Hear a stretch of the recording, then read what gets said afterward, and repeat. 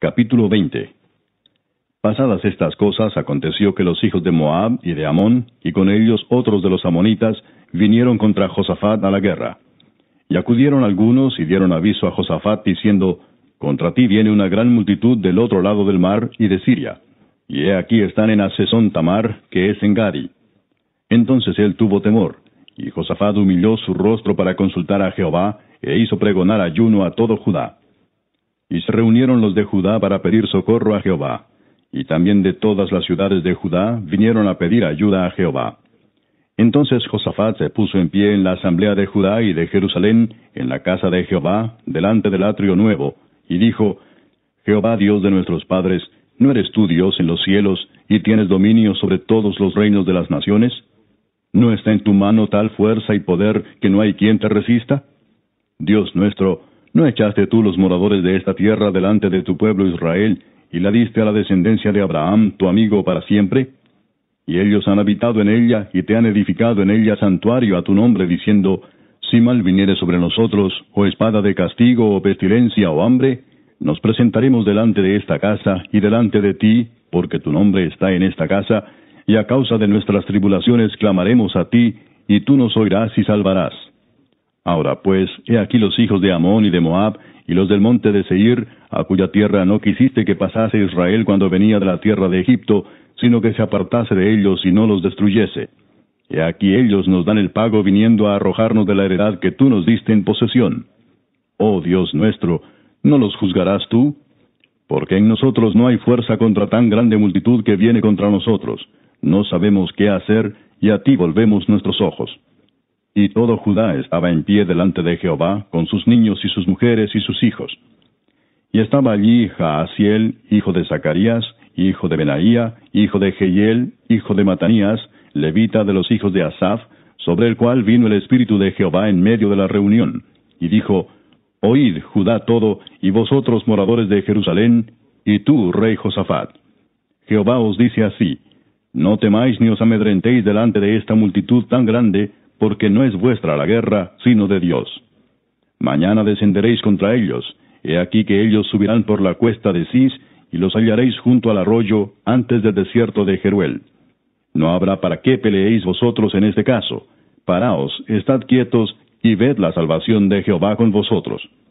Oh Judá y Jerusalén, no temáis ni desmayéis, salid mañana contra ellos, porque Jehová estará con vosotros. Entonces Josafat se inclinó rostro a tierra, y asimismo todo Judá y los moradores de Jerusalén se postraron delante de Jehová, y adoraron a Jehová. Y se levantaron los levitas de los hijos de Coad y de los hijos de Coré, para alabar a Jehová el Dios de Israel con fuerte y alta voz. Y cuando se levantaron por la mañana, salieron al desierto de Tecoa. Y mientras ellos salían, Josafat, estando en pie, dijo, Oídme Judá y moradores de Jerusalén. Creed en Jehová vuestro Dios y estaréis seguros. Creed a sus profetas y seréis prosperados.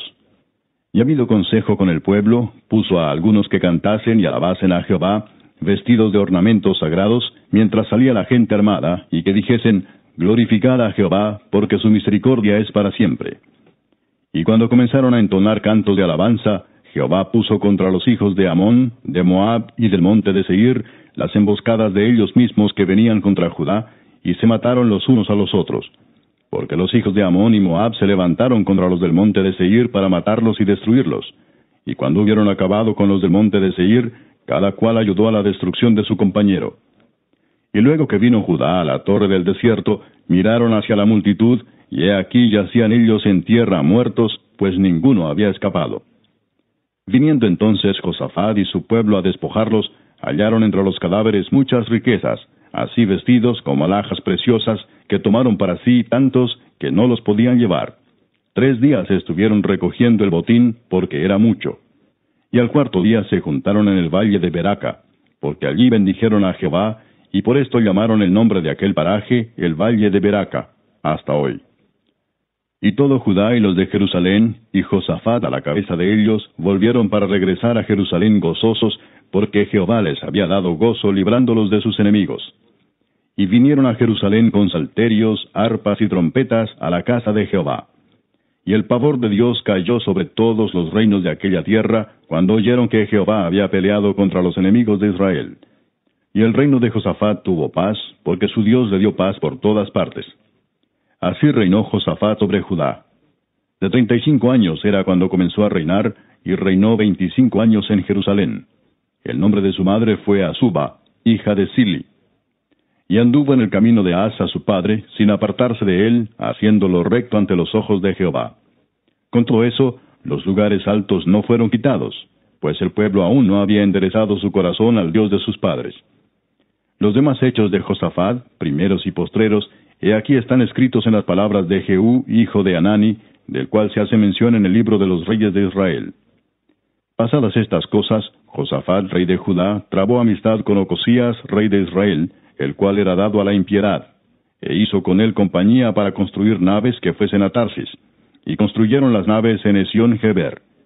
Entonces Eliezer, hijo de Dodaba, de Maresa, profetizó contra Josafat diciendo, Por cuanto has hecho compañía con Ocosías, Jehová destruirá tus obras. Y las naves se rompieron, y no pudieron ir a